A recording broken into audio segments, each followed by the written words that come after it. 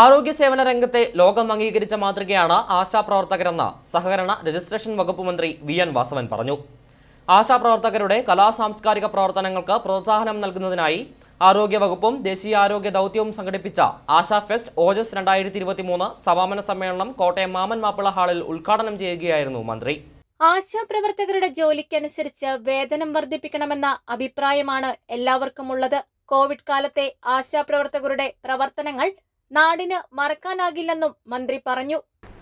ഏത് പ്രദേശത്ത് ഏത് വാർഡിൽ ഞങ്ങൾ ചെയ്യുന്ന ഘട്ടങ്ങളിൽ അവിടെ ദൃശ്യമാകുന്ന ഒരാൾ ആശാപ്രവർത്തകയായിരിക്കും. അവരാൾ വീട്ടിൽ കൃത്യമായിട്ട് അപ്പോൾ അന്ന് ഓരോ സ്ഥലത്തും രോഗം റിപ്പോർട്ട് ചെയ്യുന്നു.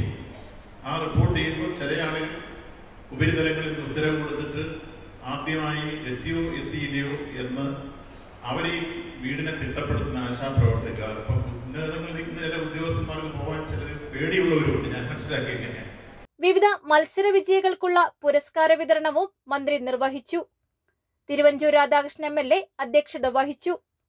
ജില്ലാ panchayat president K V Bindu നഗരസഭാംഗം Jayamol Joseph cinema നടി Anju Krishna Ashok R C H officer doctor K G Suresh general ആശുപത്രി സൂപ്രണ്ട് ഡോക്ടർ ആർ ബിന്ദുകുമാരി ദേശീയ ആരോഗ്യ ദൗത്യം ജില്ലാ program manager doctor Ajay Mohan ജില്ലാ mass media officer J Domi ASHA coordinator M J Jessy ASHA പ്രതിനിധികളായ Siji Noble A E Jayasree Maya Vinod എന്നിവർ പങ്കെടുത്തു. ഐഫോറി news Ettumanoor.